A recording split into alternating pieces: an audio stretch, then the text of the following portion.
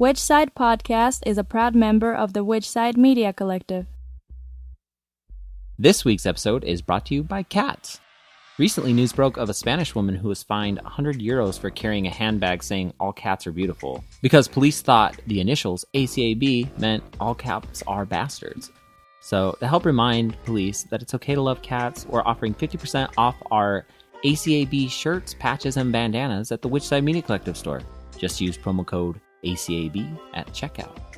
And remember, all cats are beautiful. You're actually wearing your All Cats Are Beautiful shirt right now. I am. Yeah. Looks pretty nice. Thanks. Yeah. Whichsidecollective.org.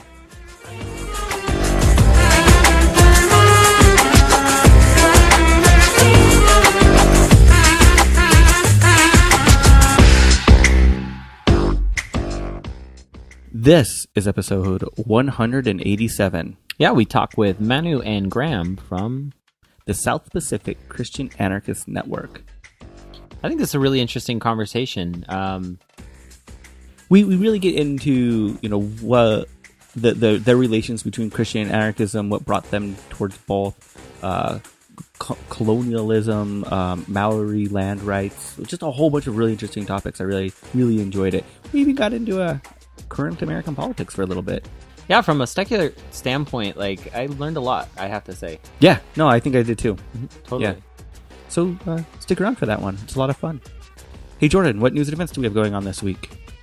Well, if you're going to be in Utah on June 10th, you can go check out the intergenerational family campout that's put on by Utah Tar Sands Resistance at PR Springs.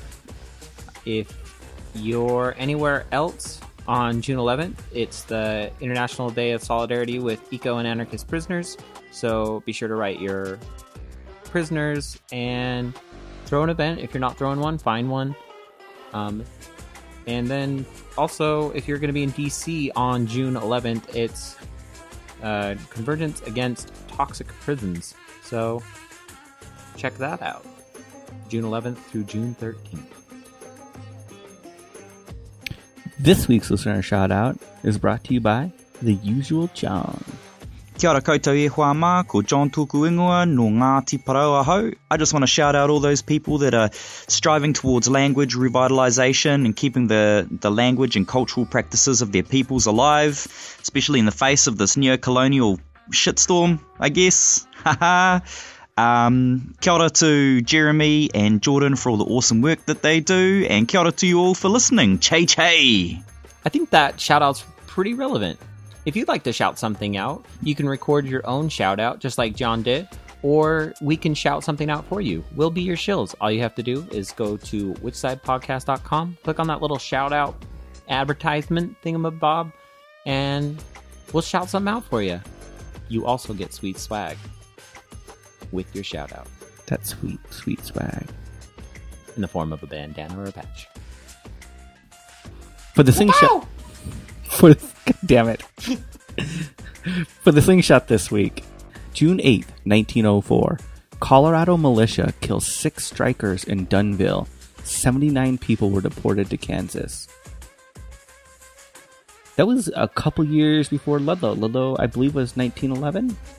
I can't remember. I can't remember. I get confused. But man, those those workers, man, they, they fought and, and died in Yeah, people really need to know about their history of like the, the, workers' rights. struggle. Yeah, yeah. Like they killed women, children, men, um, burned them in tents alive. Like It's horrible, horribly horrible fucked up.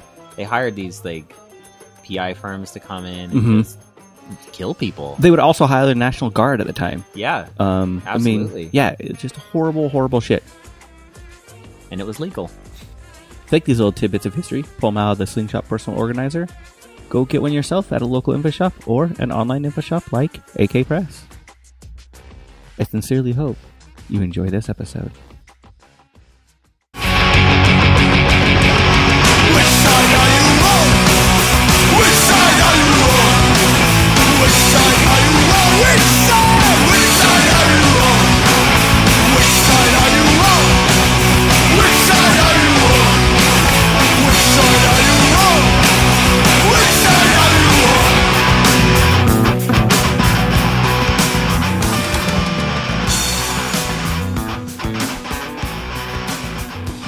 So, no gods, no masters. What's that all about? You know what I mean?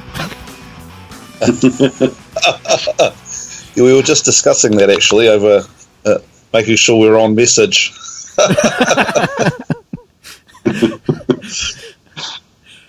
uh, um, I was just rereading our stuff from the original, um, I guess, of South Pacific Christian anarchists, and our kind of foundation uh, passage was really First Samuel eight.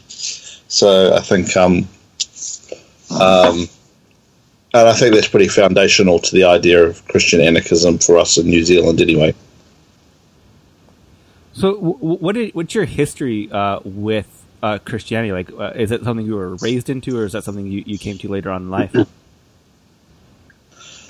Um, for me, Manu, in, um, in my early years, I was taken along to Sunday school at a Methodist church. My parents, um, my father had been a Baptist, but he been quite involved in the Baptist youth movement in New Zealand um, in his twenties, and um, but sort of fell out with him after he kept asking too many questions.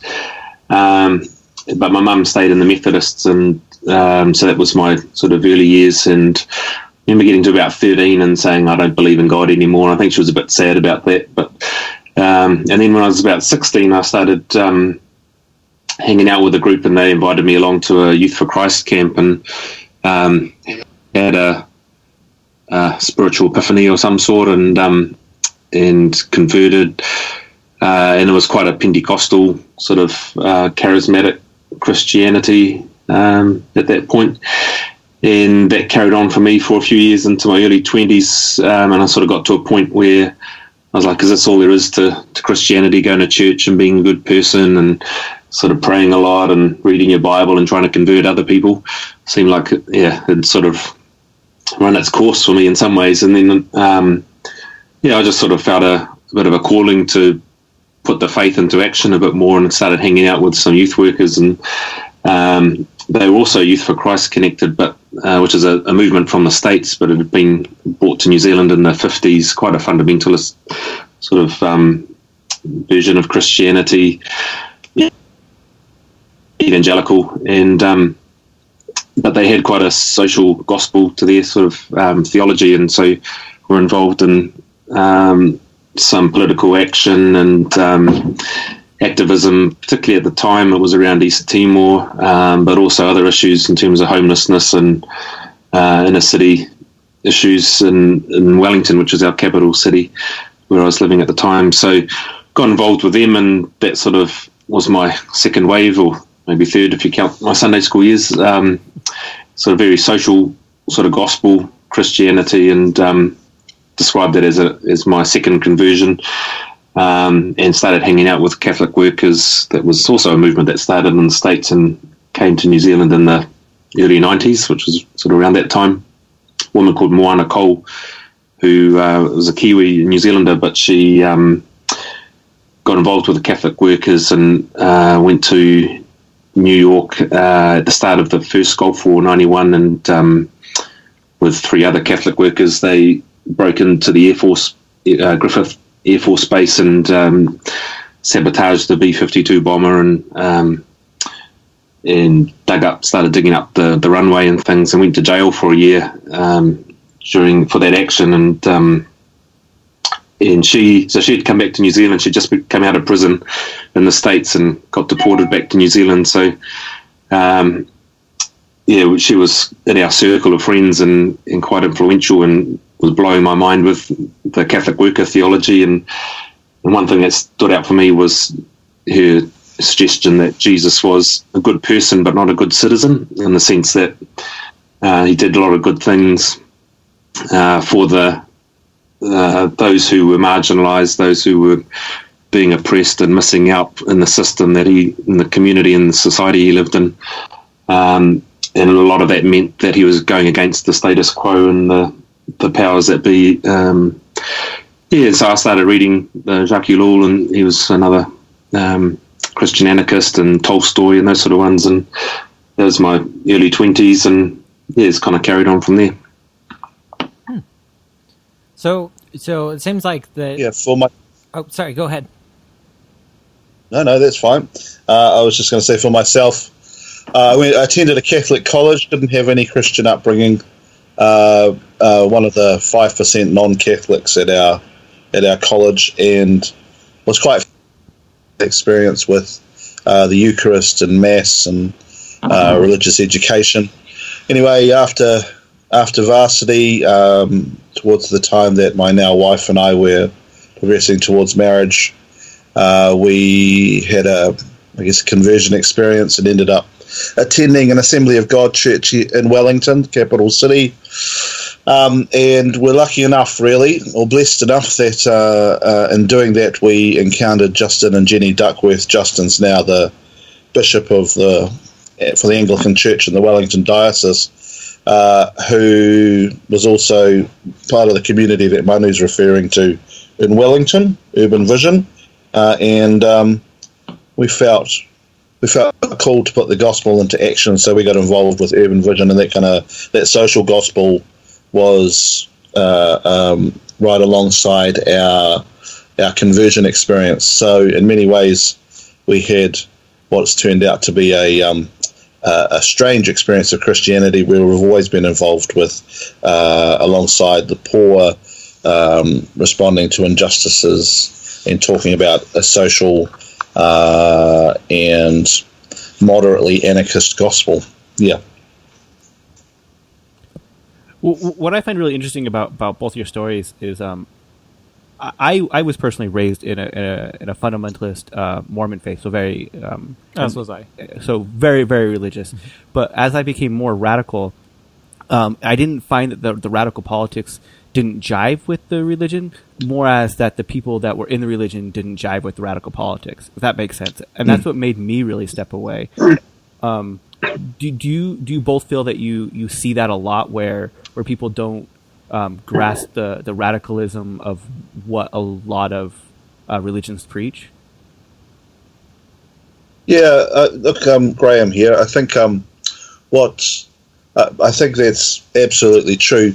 I guess the for my wife and I, what fascinated us was as we immersed ourselves in the social gospel and intentional Christian community, living alongside uh, uh, the street people of Wellington um, people who, who had in the church uh, were um, uh, were leery and often vaguely offended. I think they saw it as a judgment on the gospel that they themselves held. Whereas interestingly, our friends uh, who we formed at Varsity, majority of whom are not Christians, have no Christian background, um, felt were very supportive of our lives in those communities. On the basis, one of them said to us, "Well, if you're going to follow Jesus, then it makes sense that you go and do something." Uh, so our strongest supporters were always those who weren't involved in the church in terms of the lifestyles we were living.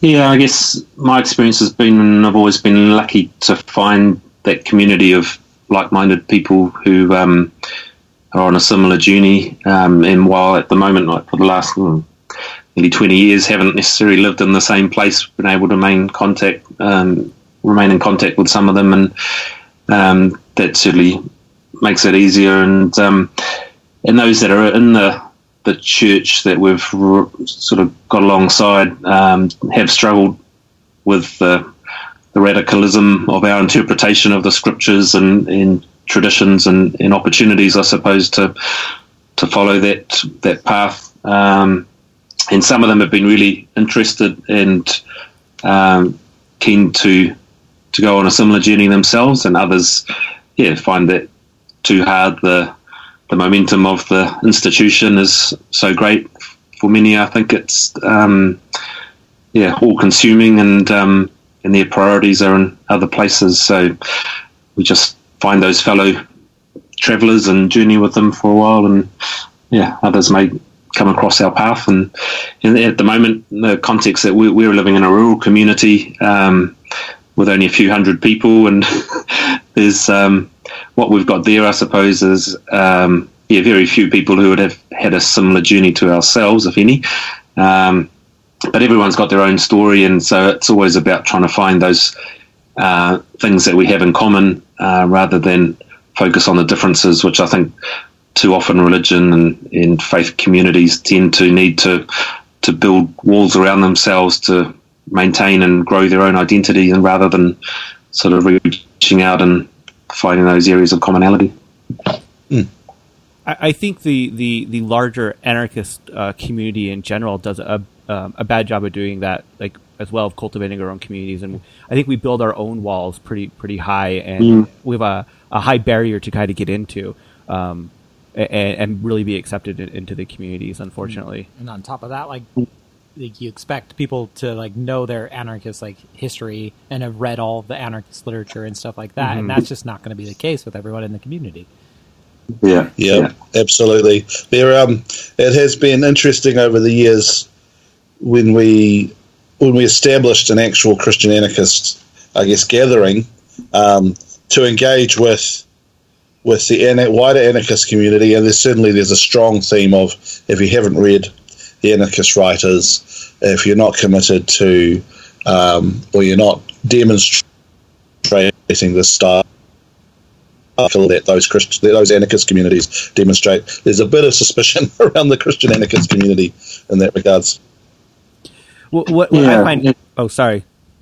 I was reflecting, you know, at our gatherings, we tend to have um, a number of people who identify more as Christians and much less as anarchists, and they're interested and curious, and likewise would have a number of probably people who describe themselves as atheists or secular uh, anarchists come along who are also curious and uh, yeah, keen to, to pursue that. And I think there was a period at one point a few years back where the Christian anarchists were sort of the most organised um, and coherent of any of the anarchist communities, country, um, which annoyed some of the the other mainstream anarchists um, a bit. I think.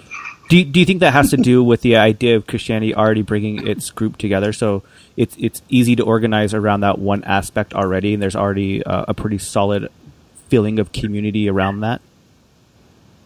I think yeah, Christians have a tradition, I suppose, of ritual and, and getting together and and doing stuff together. Where perhaps for other other um, strains of the anarchist tradition, um, people haven't necessarily had so much, um, you know, the solid, solidarity that they might experience around a particular issue or something. Often is temporal. It's sort of you know it's there while the issue is hot, and then that community disperses and waits for the next issue to come along or something. Whereas I guess Christians have, for centuries, for better or worse, um, got together and done stuff regardless of what else is going on around them, and and had in some senses community for its own sake. Um, and maybe that's that's one difference. I hadn't really thought about that too much. The other the other difference I in my own reflections is there's a uh, there is a real sense in which Christianity encourages self reflection and self insight. Uh, so so the examination of oneself. Uh, so in pulling together a group of people, you have people at a variety of stages on that journey, but nevertheless, this expectation that uh, you will deal with your uh, own issues, which is entirely not the case uh, in other in other communities, including other anarchist communities. That sense of self insight, of insight and self reflection, is not an expectation, whereas it is in Christian communities.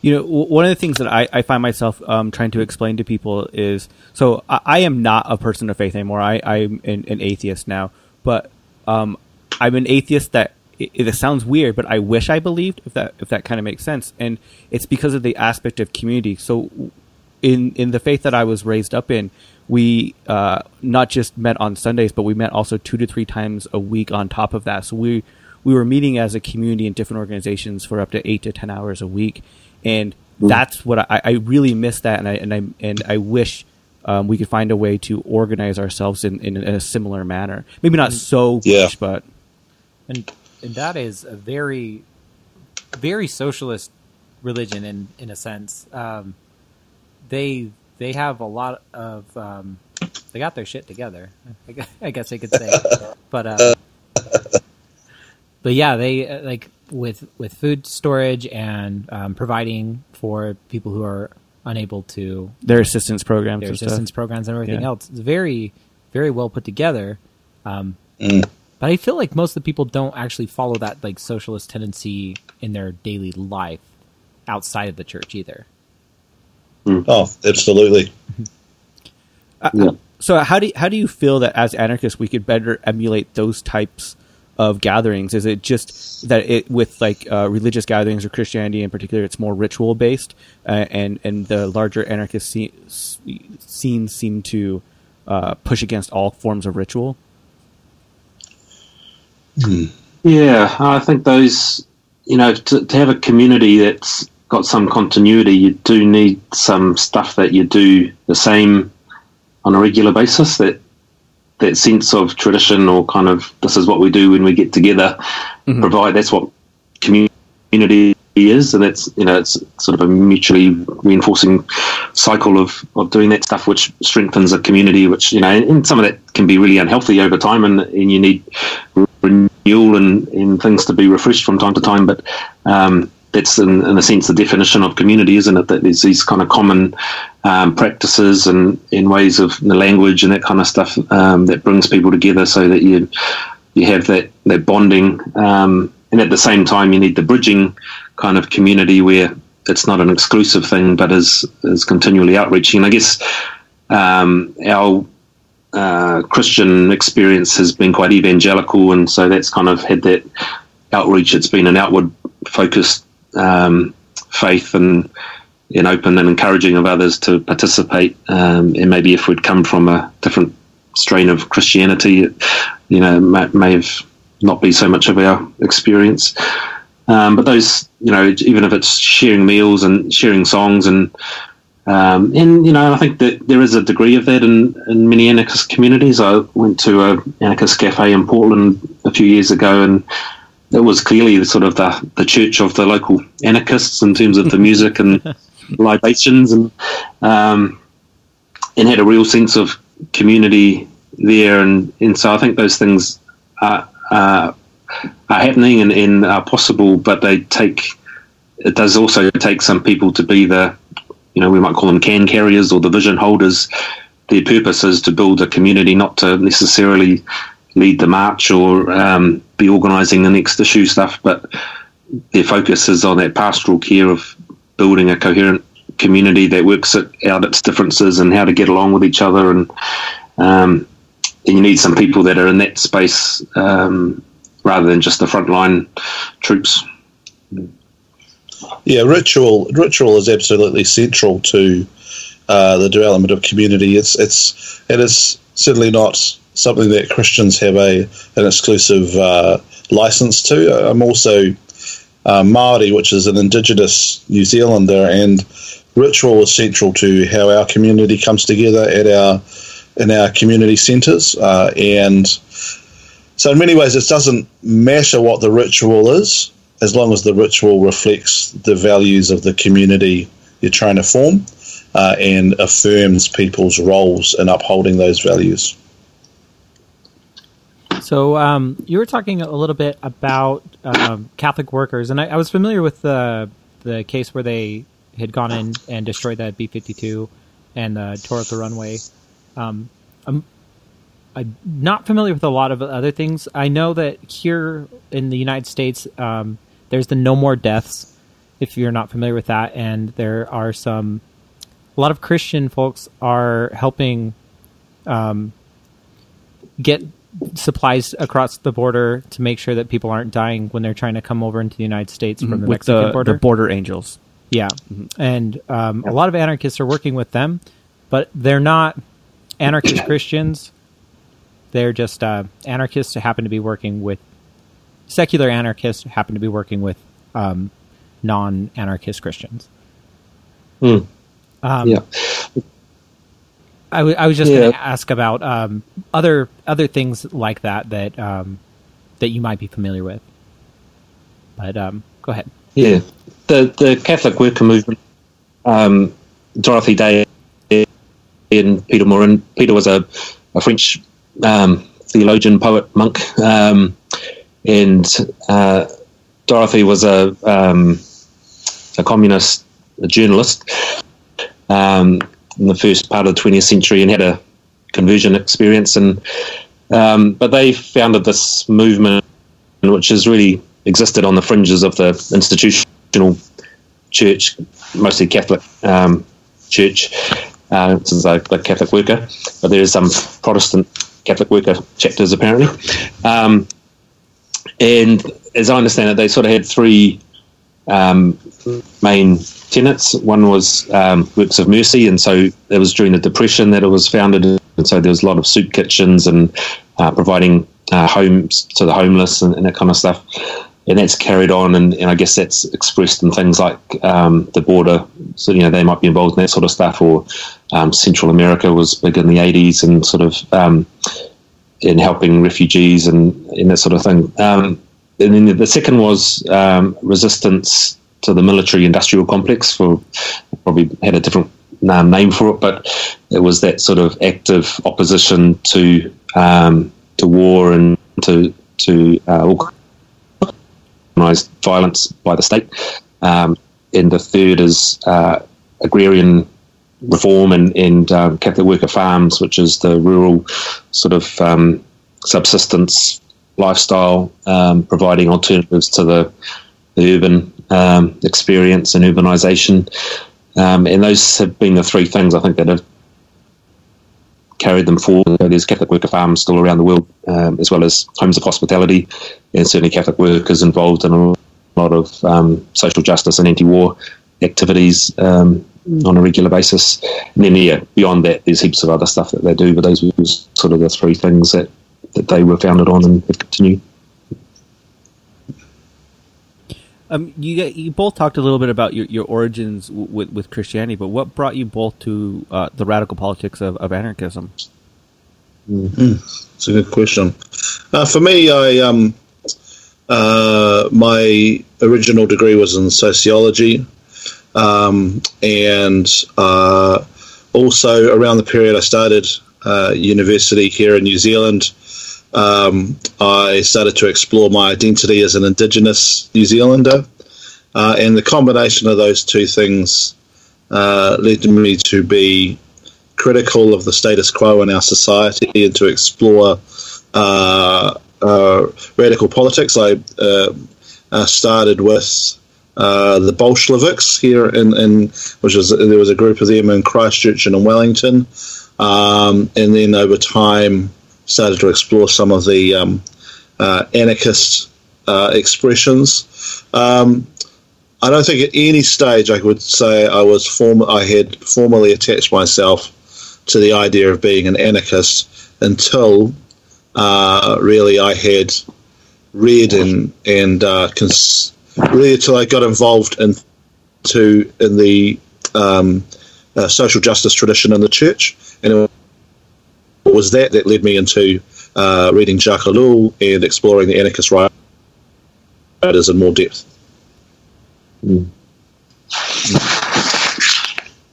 Um, yeah, yeah, for me, likewise, I guess, um, as I was saying, in my early 20s, I started reading some of those Christian anarchist writers. I was at university and um, and it just seemed to make sense, sort of a combination with the faith tradition that I'd come from and feeling like there was something more to it. Um, and uh, yeah, there's just the way that they organised the ideas um, seemed like yeah, it just had a lot of appeal.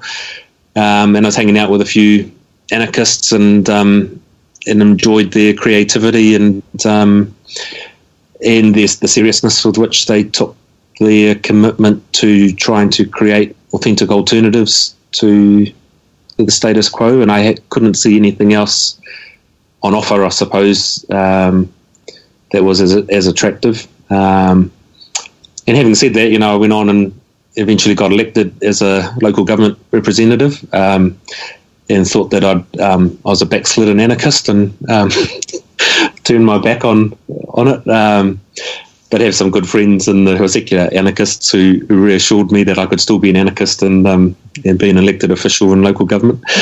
Um, but it's the, the kind of principles of um, not relying on the state to uh, provide care and, and resource um, in active opposition to the violence of the state. Um, and from a Christian perspective, I guess the spiritual aspect, and you know, and, and, I guess politics is a bit of a religion for many, um, and so is consumerism, and, and so this alternative to capitalism, and in politics um, seemed like quite a spiritual um, commitment and um, journey as well. So. Yeah, they're all combined. And a bit of research, like Graham was saying, um, on the history of our country and the traditions of Māori communities that uh, actually seemed to be organised around what I think a um, sort of anarcho syndicalist uh, society might look like with mutual aid and um, small villages that um, sat around and organised themselves. And when they needed to get together with their neighbours, they worked out ways to do that and cooperated and shared resources and had everything in common. So yeah, there's some some appeal from that sense as well that it actually maybe it's decolonizing um, myself and our family and our community to to follow that sort of anarchist tradition as well. Yeah, it's probably worth being clear. So, and specifically for Indigenous New Zealanders, but in terms of probably where you know, in reflection on what Manu's saying, the anarcho syndicalist um, uh, form of anarchism is, is kind of central. The idea of individual anarchism and, and some of those those ideas appeal less in this setting uh, than uh, the idea of a community form of anarchism. Mm-hmm. And um, Manu, you you live on tribal land, correct? Sorry, on tribal land, yeah. Yeah. Um, yes. Yep.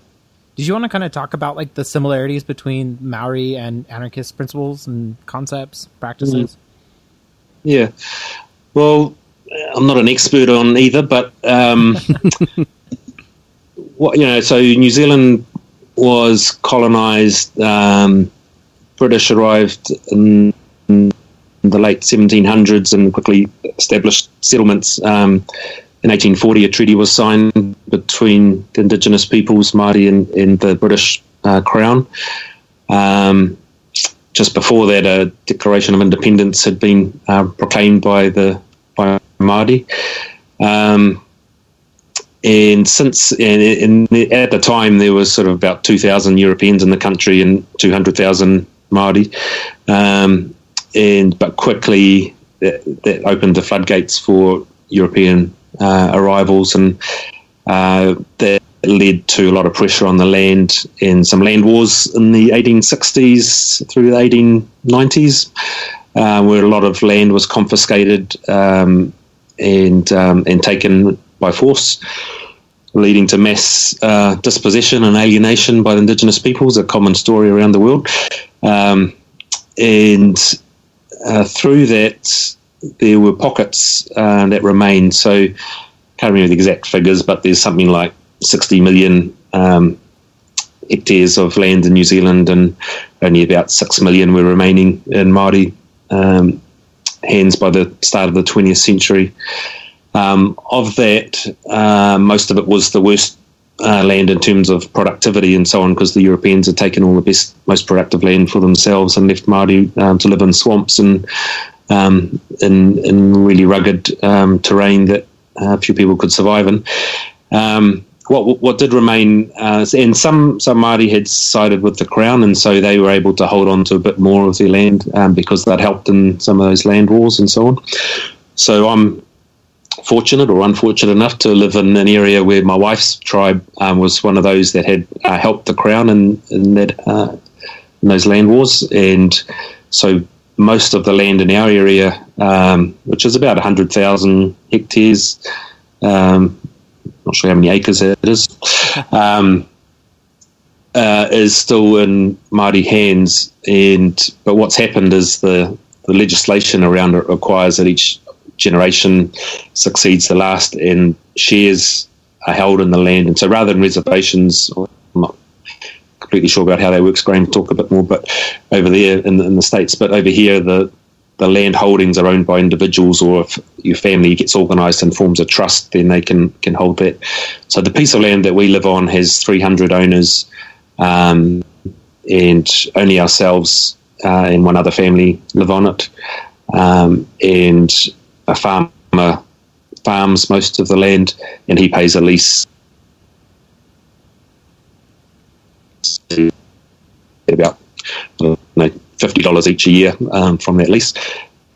And so my wife's family, which is from there, they they have um, shares in a number of blocks of land um, that will receive some dividend if there's somebody using it. A lot of the land, because of that succession process, is quite disorganised and um, and doesn't have anyone managing it. So it's uh, reverting to indigenous uh, flora, which is uh, quite good for the the environment.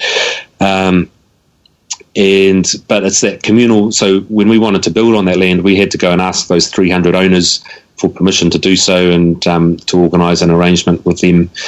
Um, of course, 150 of them, nobody knows how to get hold of them um, because they haven't been connected to that piece of land physically for two or three generations, perhaps. Um, so there's all these sort of issues at the administrative side, but in the philosophical side of things, it's a communal ownership of the land. It can't be alienated. You can't sell that land.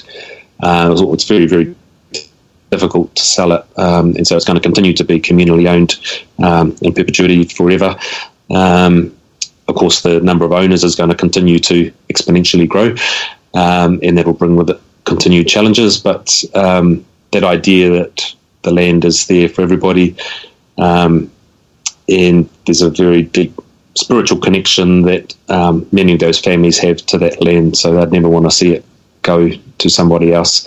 And that's some of the big pain, I suppose, for many of the other tribes that have lost their land is others are living on areas that were sacred and, and um, had fed their families for hundreds of years. So, yeah, it's um, there's some big challenges, um, but some great opportunities too in that sense of what we could have done was carve out a piece of that land and go through the court process, go to court and have it um, set aside for my wife's family, and so we'd only be dealing with 20 people um, in terms of uh, having a lease on that land. But we quite like the idea of having to seek permission and get the support of um, those 300 owners, um, because then we've got some, yeah, some greater accountability. It's a communal thing rather than an, individual, individualized title. Um, yeah, so it's a very, very brief uh, introduction to Māori land issues. Graham can expand Yeah. on that. Well, thanks very much. Um, uh, I think that uh, just to clarify the figures, in 1900 was 11 million, so gone from 66 million to 11 million. Today it's 3.4 million uh, um, uh, acres of land in Māori ownership. So uh, demonstrably a really small amount of land throughout the country. And whilst there were tribes that sided with the Crown, the majority of them suffered as well uh, significant land loss uh, as a result of policies. But um, in reflecting on mm, how on how on the societies that Indigenous that Māori as Indigenous people had, it's probably important to say that prior to the arrival of the gospel, whilst our societies were communal, they were also um, they weren't necess- they weren't run along ethical uh, uh, principles. It was the the meeting of uh, the indigenous philosophies with Christian theology that that's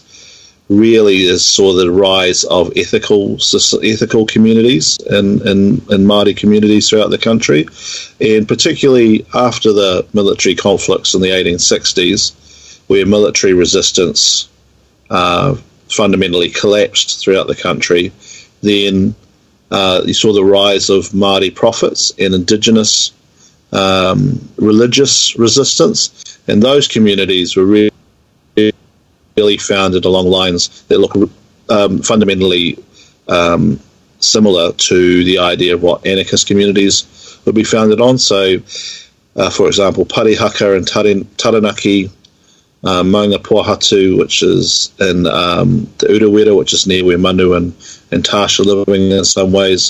Those communities are running along the ideas of a devolution of authority, of centralized authority to small communities, redistribution of wealth, um, people's labor being um, um, moving back to uh, being to supply and meet their needs rather than to be working for others uh, and conscientizing people who lived in those communities.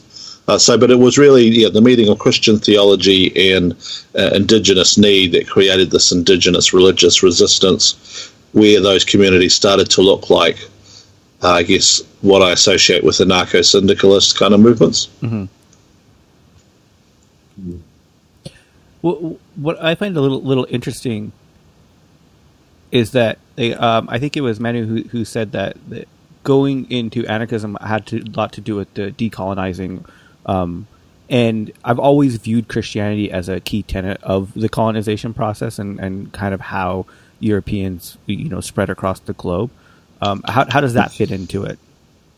Well, I think um, I think that's absolutely true of the majority Christian uh, expression, as it's uh, it is as tended to uh, walk hand in hand with empire. Um, but there's, I mean, it is the idea of of the, minor- the minority uh, Christian communities which are ethical and, and uh, in a sense, seek to power share and resource share, has been in has has run alongside that majority Christian expression from the very foundation of of the faith. Um, so Manu talked about obviously uh, Catholic workers, but you can go back to the Thirty Years' War and the Hundred Years' War and to see Anabaptist movements there. There's obviously the Amish the Amish movements in the United States. There are there are there have been for many many years uh, in every expression of Christianity uh, people who have sought to live Christianity as a powerless expression of faith rather than a, a powerful expression of faith. So you were also talking about how you work with local government, and I just want to want to ask about you know anarchist engagement with local government. That's interesting to me. So do you want to talk more about yeah, that a little bit? yeah. Um, so I'd um, Manu here. I've been involved in community organising, um, community development work for a good 10 years in our neighbourhood and in wider um, community in a city of about 35,000 people. Um, and had, because I'm not from that city, I'd sort of resisted the idea of ever um, sort of leading too much, but really just wanted to support. Um, but over time, kept getting encouraged by locals to to step up, and in a lot of our organising and action was focused on the local government um, in terms of we lived in a poor part of town and um, received um, poor service as a result. Uh, we didn't have any elected representatives that had ever come from our neighbourhood, uh, that sort of stuff, and so eventually uh, people encouraged me, and I kind of justified it to myself um, by saying, "Well, I'm just going there to open a few doors and um, for some others to, to come through." And that's sort of what I did uh, in the end. And, and I guess I also saw some um, potential in local government uh, to outwork some anarchist principles in terms of in New Zealand, we've only got four million, so four and a half million people in the whole population in the country. Um, we have fairly good um, contact with our um, our capital city and the bureaucracy and all that kind of stuff. It's not hard to um, get hold of our members of parliament and have them come and visit or um, talk to some senior officials in different government departments. Um, but we still are largely um, controlled from uh, the cent- central um, hub of the central government um, in terms of our schools and um, police and all those sort of things are run from the, the central government uh, functions. Um, and I guess I saw in local government the opportunity to shift some of that power and some of those responsibilities away from central government to a local level where uh, local community has more say over the decisions that affect it, in terms of particularly in terms of the environmental uh, issues, uh, environmental protection, and that kind of stuff. Saw a lot of at the time we had oil and gas um, companies uh, being given permits by central government to drill on land and offshore from our area, and um, that was causing a lot of uh, concern and outrage in the community, but very little we could do. And so I was trying as a local government representative to to um, yeah have greater say at a local level over those sort of decisions. Um, so yeah, I guess it was a sort of get on the inside and see if we can shift things a bit um, to to a more local level. I was quite interested in participatory um, democracy, participatory budgeting processes, uh, deliberative democracy, where communities, you know, like in Switzerland, the the canton gets together and for a day and thrashes out all the big decisions. Um, I wasn't sold on the idea of um, 15 elected representatives on the council making all the decisions, really trying to push as many things as I could back out to the community. Obviously, got a lot of resistance from my colleagues because they uh, quite like having the power and um, and their justification is that the, the citizens don't want to be bothered with all that stuff. They they're happy for us to get on with it and uh, make those decisions on their behalf. And so yeah, I was pushing hard the other way. So it was yeah, it's an interesting um, time and, and opportunity, and I you know certainly I saw a lot of limitations still in the, the structures and the systems, but um, I think local government does have potential to devolve um, not only power from central government but also out of itself and into communities uh, a lot more than it does. So yeah, that was sort of some of my experience, um, but I also noticed too how a little bit of power changed me considerably. All of a sudden, I became the defender of the institution as well as its critic. But um, yeah, certainly mm. um, my own sort of ego and all those sort of things start taking over, and when you're sort of put in these positions of responsibility and um, you know, I guess being outspoken on a number of issues, I got a national platform and um, yeah, just shifted the way I thought about the world in subtle ways that were kind of um, yeah didn't really notice until I stepped back out of it and, and realised that it had corrupted me in in ways that I wasn't happy with and not necessarily aware of at the time. So yeah, it's certainly some of those um, misgivings that anarchists have about elected representatives and and bureaucracies and, and institutional power is you know there's a lot of I found yeah that that there was a lot of truth in, in those. I find I find that super interesting because I'm only aware of one other anarchist that's been, been involved in uh, in government, and that was in Florida. They were also involved in local government, and they said the exact same thing about they kind of found themselves um, having that power, and they didn't really like the way that they started viewing things and reacting. And they also said they had a, a lot of challenges in dealing with the the community as far as the community wanting to rely on the governmental institutions where the, this person wanted to empower the people to, to do things themselves and not rely on the, the, the state institutions. Yeah, it's interesting. Like it, our, um, we have a Green Party in New Zealand that's in government.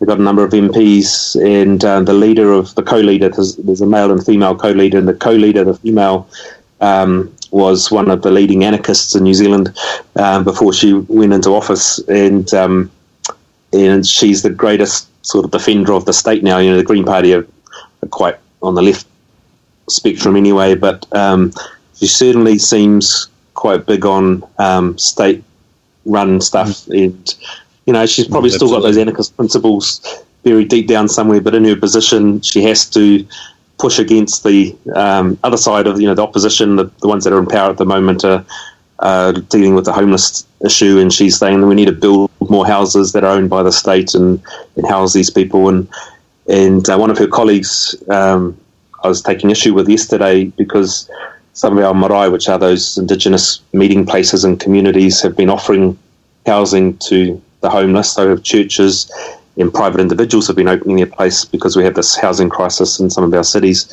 Um, and this colleague of the Green leader was criticising those marae and those churches and those homes for opening themselves up to house the homeless, saying, no, this is the responsibility of the state. Um, hmm. And uh, it just saddened me that we'd got to that point, I suppose, where those expressions of generosity and care, genuine care, where there wasn't a, a financial remuneration and we weren't um, providing it um, all free for somebody, uh, we're being criticised and, and we all look to the state to to provide those sort of things. And Yeah, I think it's just say that we- you know, and so the Green leader was also um, saying the same thing, and, and so and I don't want to bag her too much. I know what it's like in those positions, but there's a lot of compromise you got to make, and um, and I just struggle to see how an anarchist can hold on to their their principles. Um, and once you get into those positions where you end up having to toe the party line and and defend the the institution that you're suddenly at the centre of. So, so saying all that, would you advise somebody to, to go that route as far as with their local politics if they they feel like that's what they, they need to do, or or would you say no, be more community focused and, and not so much on the, the governmental institutions? like I've noticed since I've been out of, I have sort of reverted, and I think while I was in there, I was trying to work out was I still an activist or was I a politician, and and I kept forgetting that I was now a politician, and that meant behaving differently. Um, though I was trying to sort of also redefine what what it means to be a politician, perhaps. But since I've been out, I've reverted to more of my activist position, and maybe some people like myself are, are naturally, you know, we should be just on the outside rather than than taking the, the reins on the inside. And I think we need people on on, on both sides, and particularly those who get the, the you know, the sort of the, the principles. Um, but and, and I would encourage people to give it a go uh, with some provisos around having some good friends that can keep you accountable. um, some of those things that you you espouse, which are easy to say when you're not in those positions of responsibility where you don't have legal and um, and some would say moral, ethical obligations um, to to make certain kinds of decisions and, and take certain positions. Uh, they're much easier to, to criticise perhaps than once you're on the inside. Um, but you do need some checks and balances, I think, around you to do that. And had some another Christian anarchist friend come over to one of our events uh, from the states, and he's a kickboxing Christian anarchist pastor who makes um, pipes to smoke. Um, and he he'd be a good person for you to interview sometime, John Jenkins. Um, and he was saying it's for him he would never put himself up for election because he knows how the power would corrupt him. He's seen it already in himself too much, and I guess you just got to have a huge amount of self awareness and um, and not just trust in yourself, but have some people that are going to have your back and and keep you accountable if you're going to put yourself out there. But it would be great to have more people with anarchist tendencies get in the system and really screw it up, um, so, so that you know we don't keep looking to that stuff which is never going to be able to provide the, the stuff that we really need. So, you know, and I just, but I also think you've got to really weigh up. Do you want to give up those years of your life to try and reform a system that's going to be really hard to to do much about, or do you, you keep putting your energy that's limited, um, what you have got to offer into stuff that are, are creating authentic alternatives to that system that we think is fundamentally broken and is beyond repair. But you know, that's just my where I'm at today. So, with all that out there, um, what are both your takes on um, anarchists saying that anarchists shouldn't vote? We had a big argument about this at our last election, I think. Yes, we did. because it was the first general election that I hadn't voted in, and um, and I got quite a bit of flack from from people, and I think part of that was I was just jaded coming out of the political system. I'd also been quite involved in a national um, election campaign, and um, yeah, and got just it sort of kicked myself for my involvement in that, and so I was very even more cynical than usual about national politics, and um, so yeah, I was I was really anti and sort of putting it out there, and um, um, so yeah, I'm still like nah, don't vote. Yeah, uh, uh, my view, my view today, my view today uh, is that in local body, so local government politics in New Zealand, uh, there's still there's still the potential to make real difference with with uh, uh, uh, uh, with people going into there who have a similar moral and ethical basis for what they're doing, with all the provisos that Manu's just outlined. So, voting in local body does make some sense to me. Voting in the national elections, less so. Uh, and Manu quite eloquently, you know, outlined the problems with the party that I think he and I would both naturally tend to support, the Greens, in terms of how they're uh, um, how they're transformed by the system rather than transforming of the system. In saying that, both of us are really interested observers of international politics, and then there's some there are some elections where not voting is more damaging than not. And for me, the coming election in the United States, where you're going to have fundamentally crazy psychopath running against versus another versus another. well, it's basically Who's who? one is one is on the pathway to the kind of fascist expressions that arose throughout Europe uh, at the beginning of the 20th century. One isn't. One is going to be more of the same. The other one is the start of a dialogue that really none of us want to be having in our society. So in those instances, you got to wrestle with whether voting's the lesser of two evils in that regards. That one's really tough for me. It's Just- really tough for me as well. I'm, I'm a huge like a huge proponent like you are as far as like voting locally and, and things that can really make a difference. Um, but I mean the the the amount of authoritarian talk coming out of Trump is, is fucking scary. Uh, very scary. a- and Yeah. and, and, like I had this argument with my parents the other day where uh, so much so that I know if he was arrested, I'm okay saying this out there. I'll do everything I can to stop any of the policies he did. So far as going to put myself in danger, like I'm, I'm okay with that. I, I think we need to fight, you know, that type of author- authoritarianism that hard. Um, I- I, I don't necessarily see myself having to do that with the other major candidate, but I don't necessarily think the other major candidate will lead us to a, a better path. If that makes sense. It totally makes sense. I don't think either Manu or I would think it's going to lead you to a better path.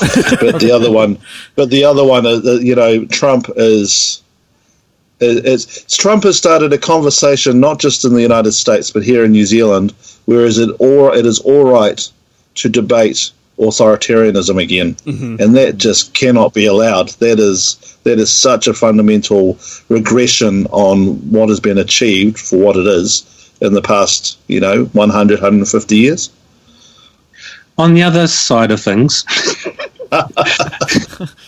you could argue that it would be great if Trump was elected and the whole system imploded.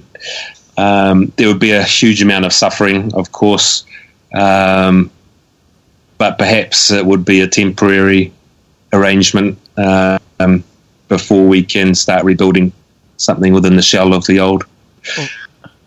I mean, I don't know. Yeah. I mean, I I, Otherwise, I, I just think understand that. I, I, I just fundamentally disagree. Um, I, I can't I can't say I, I'm going to allow that type of suffering uh, for the hopes of a better. Do you know what I mean? I, I I understand that it might create that better, but I wouldn't want to push it because we don't No. know what the outcome would be. No, people people are too important to play that game, in my opinion. Yep. Yeah. And I'm already seeing a lot of like anti-establishment politics coming out of like the younger generation here. Like, um, you know, one of the other candidates that's running who is unlikely to get the seat is, you know, is pushing that anti-establishment rhetoric, even though they, you know, they've they're a politician through and through. Are you talking But- about Bernie? Yeah, I mean, he's clearly Yeah. establishment.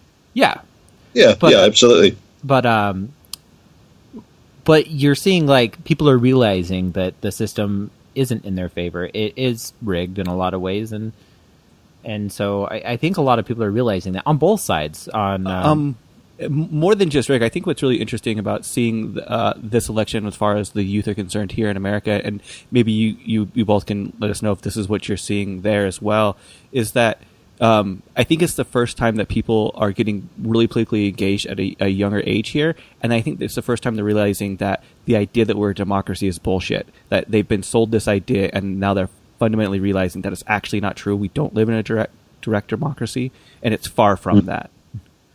I would That's encouraging. I don't think we've got there, there over here yet. No, I think um, if- see, we have a fundamental disposition of large segments of our population, our population, and so they're disassociated with the political process.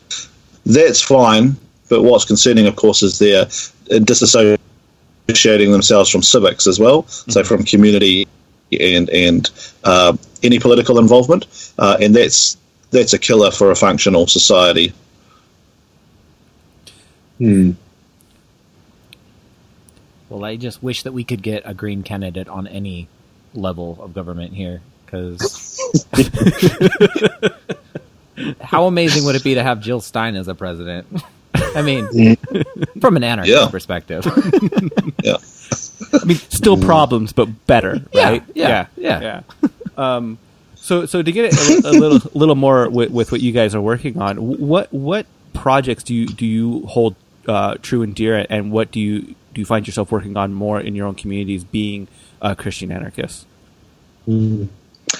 Um, I've got a little project that just sprung up in the last fortnight. We had a um, a mayor of a, a city um, who, when he went into office, was quite rednecking. Like he he calls himself a recovering racist now because he he was completely ignorant of the history of his community and uh, particularly Indigenous um, perspectives and experience in the place that he was then elected mayor of.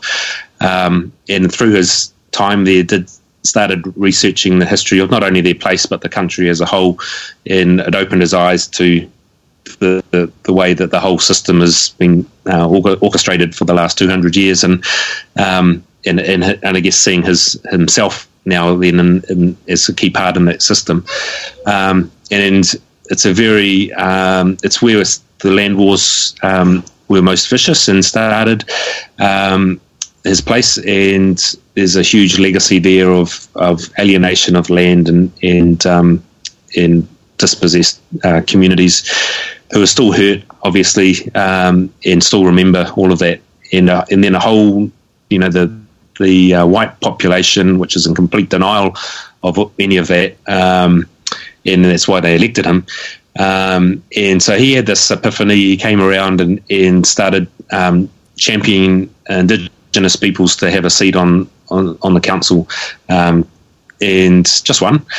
Um, and all of a sudden, he got this massive backlash with um, people from the public turning up um, in Nazi uniforms, spitting on him at the supermarket in front of his kids, uh, quoting scripture from the Bible about why it was wrong what he was doing, all this sort of stuff. You know, he came out with that in the national media two weeks ago, and um, and that was, and then the the guy who was hosting the TV show totally slammed him afterwards, and that created a massive um, outpouring of um, frustration, I suppose, around the country.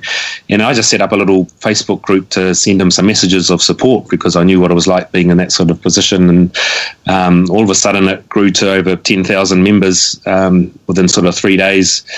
And this massive debate about these issues in our countries are sort of the foundation um, issues that are still unresolved for, for most of the country.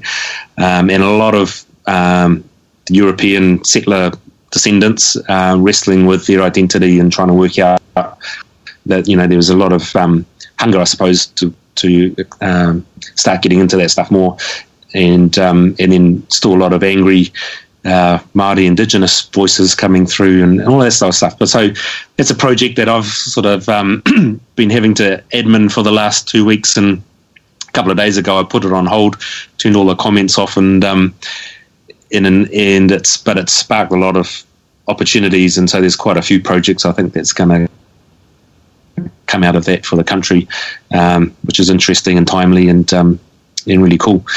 Um, and then on a day-to-day sort of basis uh, yeah we're just um, in a rural community uh, with high unemployment and trying to create some some jobs um, using the the native plants that are around us um, looking at uh, working with some scientists and trying to see if there's some good stuff in those that we can turn into products for um, horticulture and animal and human health, um, people wanting to get away from some of the nasty stuff. Um, so I've got a little enterprise development projects on the go there. Those, those are things taking up most of my time on top of family. Yeah, and, and similarly on top of family, my um my key and I guess my key involvement at the moment is in our tribal authority uh, in New Zealand. A lot of tribes are going through a process of settling their historical grievances from the land laws with the government, and uh, our tribe is just recently going through that process with the potential for a significant amount of money to be uh, to arrive on our doorstep in the next sort of 18 months. Uh, so I'm um, uh, a representative on our tribal board, uh, and so in that space, um, we have some decisions to make around governance and around how we use that resource. The tendency in New Zealand has been to establish essentially mini corporates for tribes, uh, and so I'm one of those, and thankfully not the only one, but one of the voices in our tribe talking about other ways of using that resource to encourage our local our local um, uh, tribal communities to uh, have locally generated economic development, to look after their own social and health needs, um, and in the midst of that as well is how we relate to the government. Uh, there's still this tendency to want to depend on the government being the central provider of health and social welfare to our people. Uh, but we have one tribe in the country, Tūhoe, that's put a vision out there about uh, effectively taking that back as their own responsibility. So we're having those conversations as well. So uh, that's why I've been on that now for five years, and, and um, uh, still a minority voice, but that's what we're doing at the moment. Well, how can people get in touch and find out more information? and get involved, right? I was, I was just saying to, to Graham, well, we need a website for the South Pacific Christian Anarchists. We used to have a little corner of the, there's a JesusRadicals.com is a, the big, um, and I think they avoid the Christian Anarchist label, but they are pretty much um, based in the States. They're very And, um, Mennonite, right? Yeah, yeah, they Yeah, are. yeah, they are. So we we we organised our first gathering ten years ago this year, and um, over here, and I remember sending the information off to them, and they thought we were like a hoax um, and refused to have anything to do with us. Um, likewise, we sent it to the National Christian newspaper, and they um, refused to, to promote the event. Um, they thought. They said, aren't anarchists um, ones that walk around in um, in boots and throw bombs? And I said, no, those are fascists, I think. But, um, and so yeah, we're sort of yeah got a yeah put a we've got a Facebook, a South Pacific Christian Anarchists Facebook Facebook, and that that name was uh, yeah over here we've got the Society for the Protection of Cruelty to Animals, which is SPCA, and so we've got the same acronym, so there's a bit of confusion there sometimes. Um, but we have quite a few members from Australia. For a few years, we had alternating events between Australia and New Zealand, and then we all felt too guilty about the carbon mile.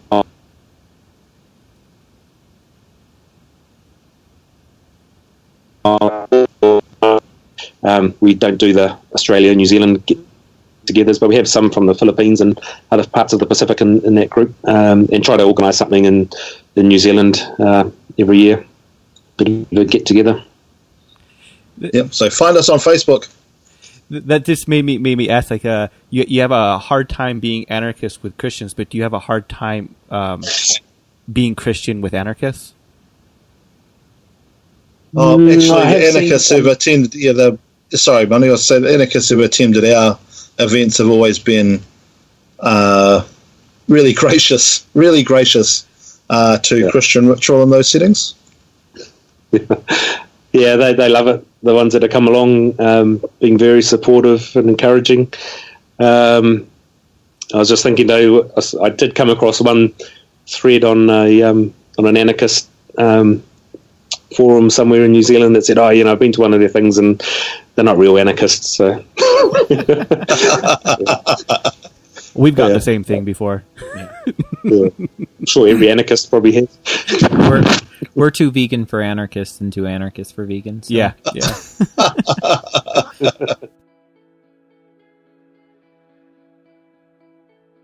this week you heard. Dope Crunk by Beats Antique.